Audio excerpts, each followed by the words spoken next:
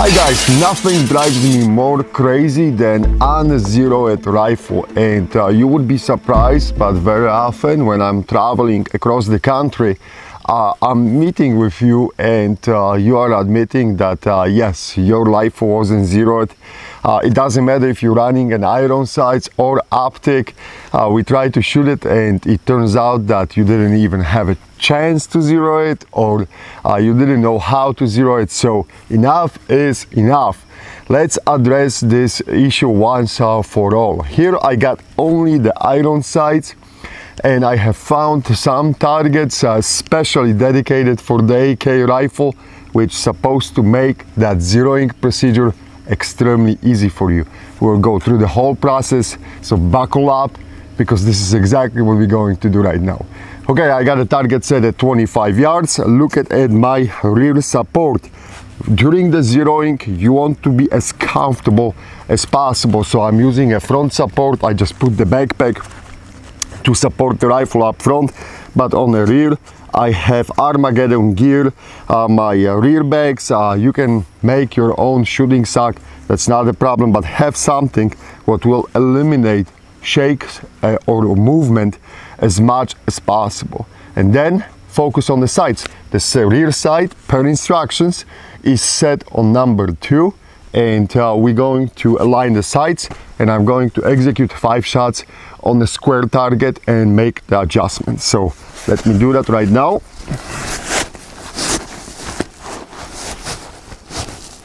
Get as comfy behind that rifle as possible, guys. Align the sides and remember, we are placing the front post underneath of that black square and focus shift the focus completely on that front post. Okay, that was the first shot. Relax, breathe.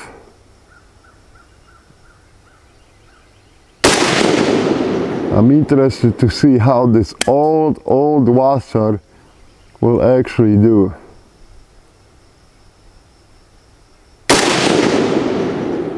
It's way past 10,000 rounds on the barrel, minimum maintenance.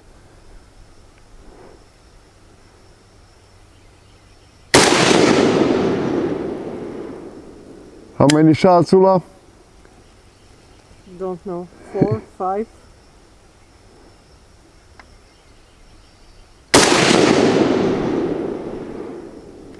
All right, I think that was five shots, if not that's fine we got more than three.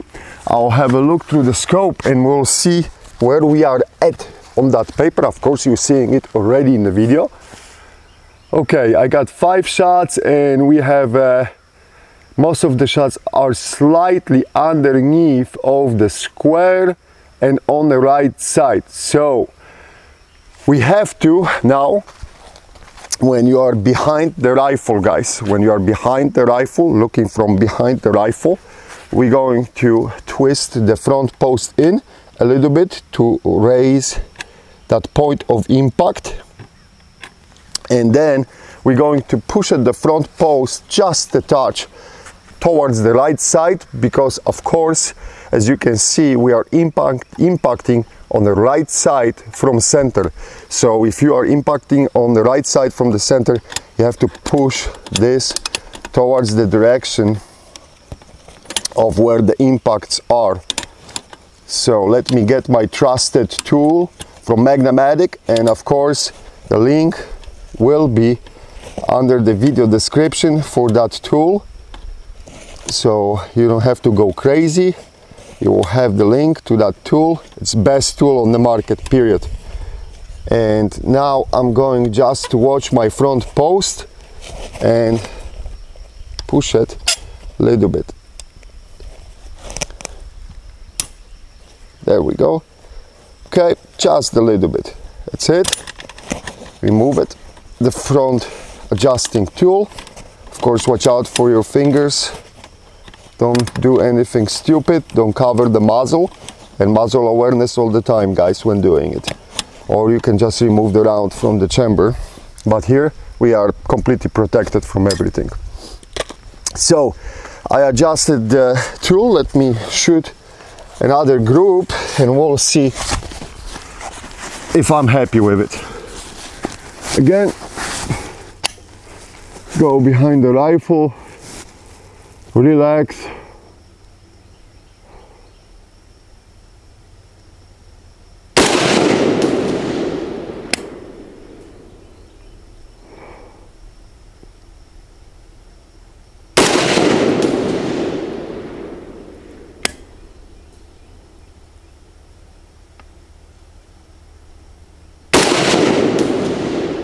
Two more shots.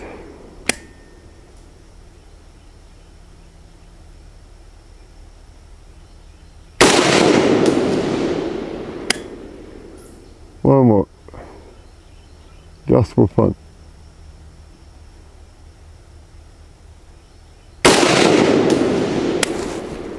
Okay, safety on. Let me go behind the scope.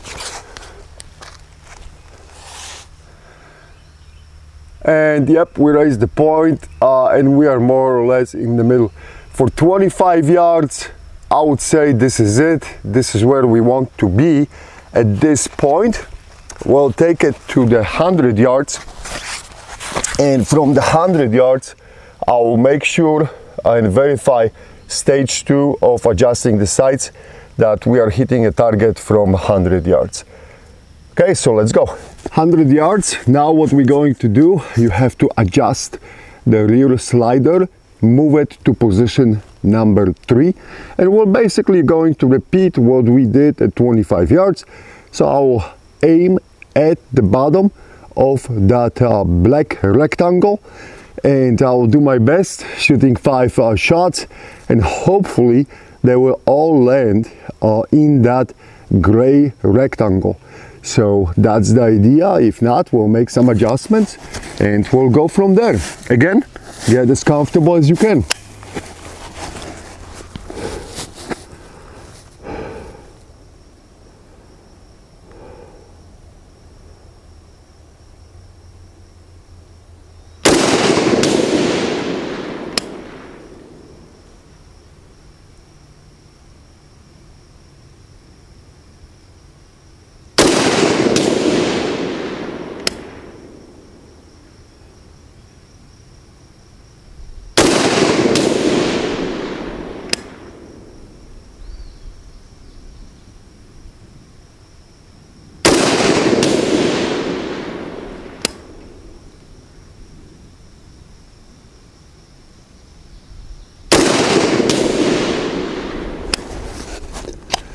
Okay, I hope I didn't rush.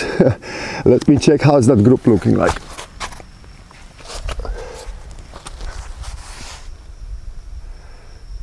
So yes, we are within the gray box. I see at last at least uh, one, two, three hits in the gray box.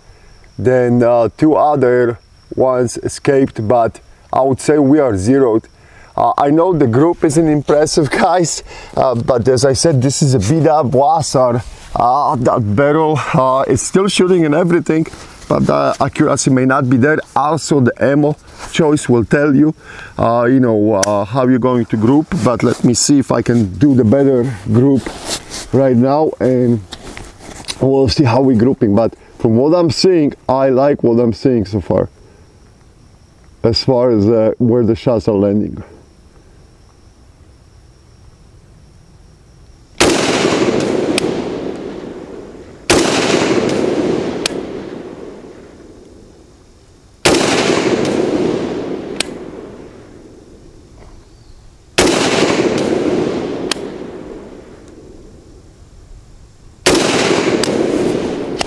Okay, five shots. Again, let me check quickly. Yeah, and I group it a little bit more out the way I'm seeing now. So we'll just make the small adjustments. The rifle heat up too. And you have to remember when you are heating up the rifle, you're gaining a little bit speed, right? So uh, let me drop this to move the point of impact. Right now we have to unscrew the front post okay? So we're screwing it to move it up and I'll unscrew it a little bit like this and we'll see how we did on that. Now